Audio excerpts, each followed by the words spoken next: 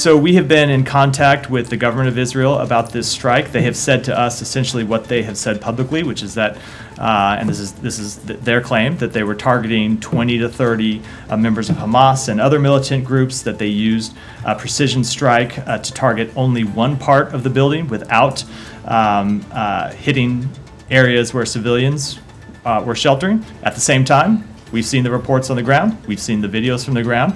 We've seen the claims that 14 children were killed in this strike. And certainly, when um, you see if that is accurate, that 14 children uh, were killed, th- those aren't terrorists. And so, the government of Israel has said that they are going to release more information about this strike, including the names of those uh, who died in it. We expect them to be fully transparent uh, in in making that information public. With respect to the policy that the president announced, he was speaking specifically to a large scale operation in Rafah, and we have not yet seen a large scale operation conducted in Rafah. That said, um, we have seen strikes that put civilians in danger well before the president said that, and we have made clear to the government of Israel that we expect them to do everything that they can to minimize civilian harm.